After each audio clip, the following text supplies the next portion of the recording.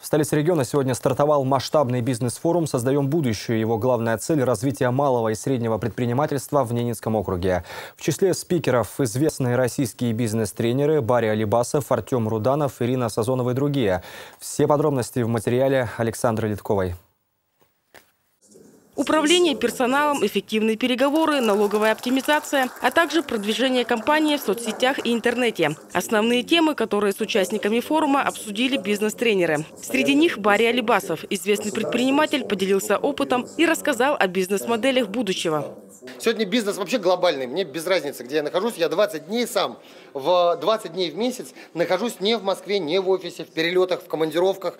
Но у меня у сотрудников ощущение полного присутствия во всех регионах, где бизнес работает.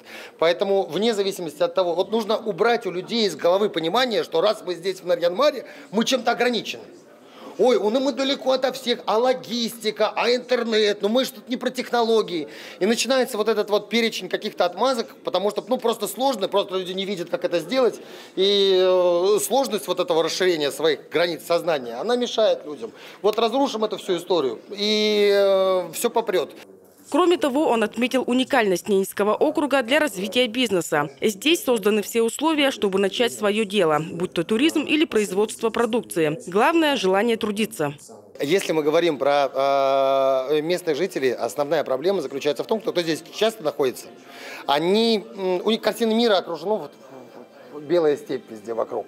И о том, какие бизнес-модели сейчас популярны во Франции, в Штатах, в Африке, в Израиле. Вот этой глобальности мышления не хватает. И вот если местному человеку дать понять, как увидеть вообще наш земной шарик э, чуть-чуть пошире, возвыситься над этим и посмотреть, что можно интересного сделать, то под ногами окажется огромное количество интересных вещей, которые приносят деньги, которые можно сделать здесь, в Нарьян-Маре.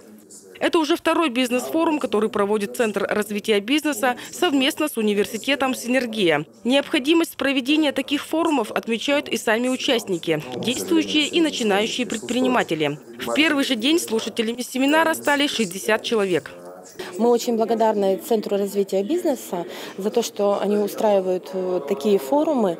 И после этих форумов наше предприятие терпит э, изменения в лучшую сторону, что понравится гостям и гостям, и нашим гостям и гостям Ненецкого автономного округа.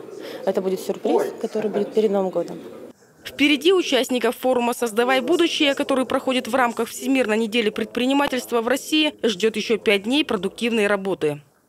Форум нацелен на популяризацию предпринимательства в нашем регионе. Для того, чтобы предпринимателей замотивировать, э, мы пригласили известных людей, э, для того, чтобы они поделились своим опытом, рассказали о перспективах ведения бизнеса и как-то замотивировали наших предпринимателей к росту, к развитию.